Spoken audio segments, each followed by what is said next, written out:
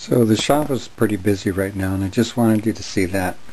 Here's the basic work shelf and as you see here's some drawers from a little sweet little box. Here's some more drawers from a sweet little box. You see that this one has been cleaned inside and you see that this one is pretty funky and needs cleaning inside and if you can can you see that subtle difference in this light. There we have original and here's after a thorough cleaning. The idea is not to remove any of the paint or anything but to do a polish. Like can you see a polish on can you see a polish on this right here? Um, if we look at this one next to it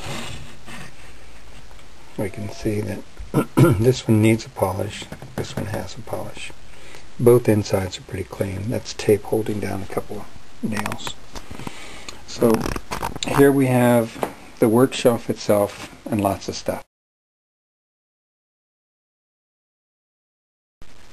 Okay, our lighting is a little bit better this time and I want to show you.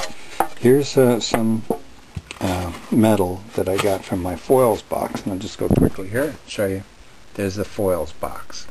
So here's boxes of lots of stuff.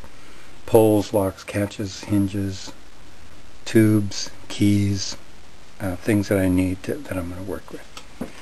And uh, here again, just like the other day, I showed you, we've got jelly beans.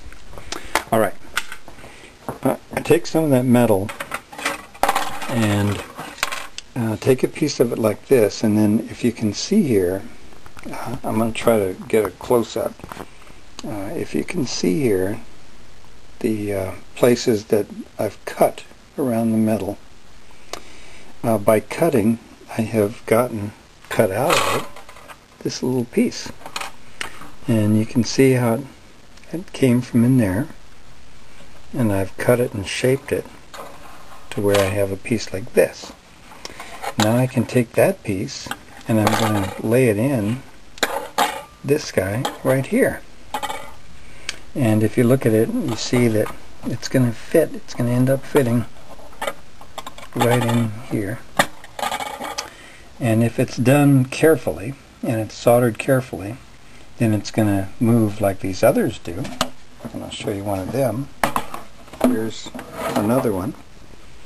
And I'll put that, I'll get that right under the light somehow and then you can see that the fingernail goes under there and lifts it up like that.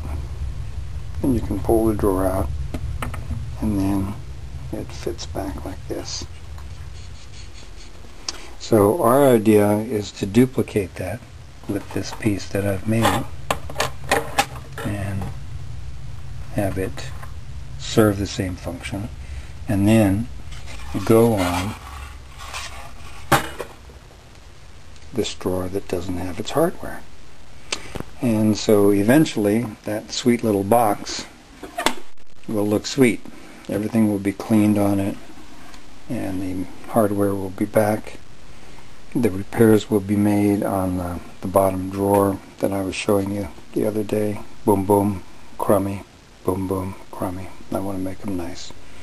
Once we make it all nice, we have a nice little box.